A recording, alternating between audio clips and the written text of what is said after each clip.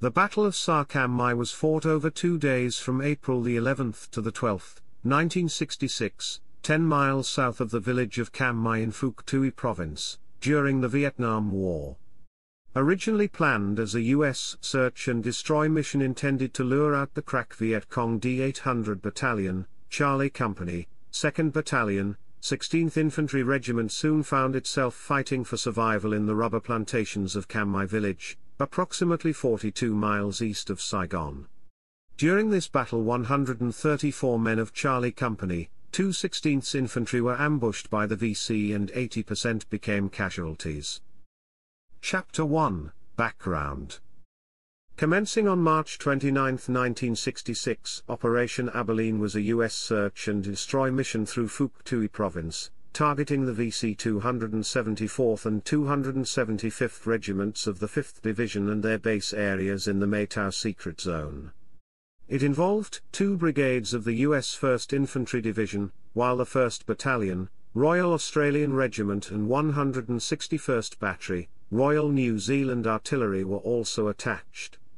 However, the VC largely avoided battle and contact with the sweeping U.S. brigades was Light Major General William E. DePuy, as commander of the U.S. 1st Infantry Division, subsequently planned to lure out the VC by using Charlie Company, 216th Infantry as a bait.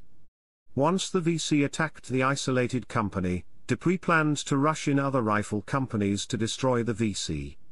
The next phase of the operation began on April 10, 1966, with soldiers of the 1st Infantry Division moving into positions between Saigon and Vung Tau in search of the elusive VCD 800 Battalion. Unlike previous operations, Charlie Company numbered only 134 men because of casualties, leave and other reasons.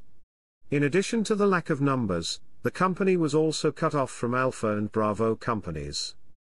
Chapter 2 Battle on the following day as Charlie Company moved through the Courtenay rubber plantation, they encountered sporadic fire with VC snipers attempting to knock the Americans off one by one. The sporadic fire allowed the VC to maneuver around the outnumbered Americans. By 1400 hours, VC officers were spotted around the positions of Charlie Company, directing the encirclement of US positions. By that time it had become clear that the VC had taken the bait. However DePuy's gamble on other rifle companies arriving in time was thwarted by the thick jungle. To minimize casualties and break the ambush, Charlie Company formed a circular perimeter with interlocking fire. The situation deteriorated as Charlie Company found itself increasingly isolated with only a distant hope of reinforcement.